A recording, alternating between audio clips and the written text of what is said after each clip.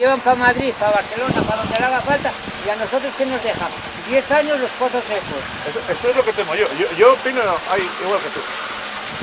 Y, y yo creo que mucha gente.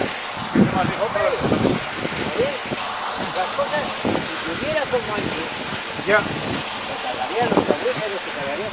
Pero con la sequía que tenemos, bien, sí, sí. Es que encima si dejase algo en el pueblo, pero con...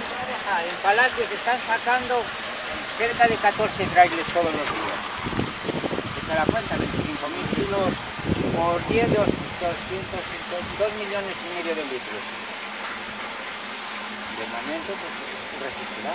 Es que no puede resistir toda la el, vida. el- el acuífero se acabará secando o, o acabará dañando para arriba. En fin. Y en el verano con la drenación de la vega, este se queda así. Lo sé, si yo vengo cada, cada semana o cada 15 días a echar agua. lle- Llevo yo agua de aquí para casa, porque pienso que es mejor el agua de aquí, que bueno, por lo menos no tiene cloro y no tiene la mierda que tenga el, el depósito. Y, y- y este verano ya la noté yo un día mermada. Joder. Y aquel de arriba, a- de último ya no, ya no echaba ni agua, ya echaba solo pienso. eh, Para que nos vengan a quitar lo, lo poco que tiene el pueblo. Y, no, y nos el pueblo seco.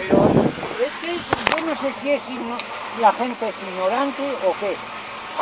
A, a ti si te sacan la, la sangre de aquí de abajo, que llegará un día que no hay sangre. Claro.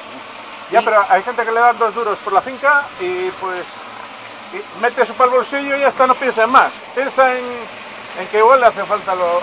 No, no- no, sé lo que vendrá en la finca. Nada, no vale nada, porque a esa le, le querían comprar la finca y le dijeron que era para poner flores y lo creyó todo. En- en- Encima con,